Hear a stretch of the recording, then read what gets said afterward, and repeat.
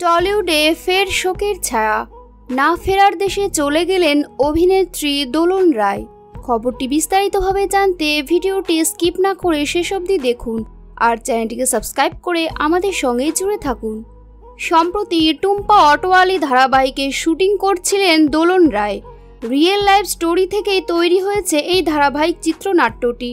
রবীন্দ্র সরোবর থেকে তারাতলা রুটের অটোচালক তন্দ্রা সাধুকার জীবন নিয়ে এই ধারাবাহিকটি রচিত হয়েছে।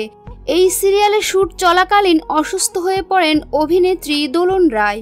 প্রচণ্ড গরমে অসুস্থ হয়ে পড়েছিলেন অভিনেত্রী দোলন রায়। এক বেসরকারি চ্যানেলের নতুন ধারাবাহিকের অন্যতম মুখ্য চরিত্রে অভিনয় করছিলেন তিনি। বৃহস্পতিবার শুটিং থেকে ফিরেই হিট স্ট্রোকে আক্রান্ত হন অভিনেত্রী। সঙ্গে সঙ্গে অভিনেত্রীকে হাসপাতালে ভর্তি করা হয়। তার শারীরিক অবস্থার অবনতি হলে তাকে আইসিইউয়ে দেওয়া হয়।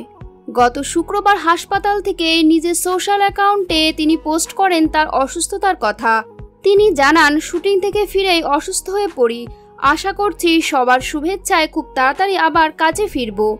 পাশাপাশি কয়েকটি ছবিও পোস্ট করেছেন তিনি অফিসিয়াল তার ফেসবুক প্রোফাইল থেকে, যেখানে দেখা যাচ্ছে হাসপাতালের বেডে শুয়ে আছেন অভিনেত্রী, হাতে তার স্যালাইনের চ্যানেল।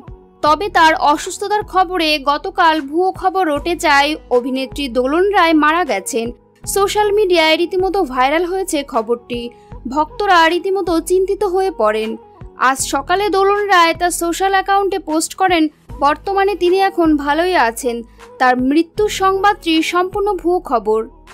প্রিয় দর্শক মণ্ডলী, আজকের ভিডিওটি নিয়ে কোনো মতামত থাকলে তা অবশ্যই কমেন্ট বক্সে আমাদেরকে জানাবেন। আর চ্যানেলটিকে সাবস্ক্রাইব করে লাইক কমেন্ট শেয়ার অবশ্যই করবেন।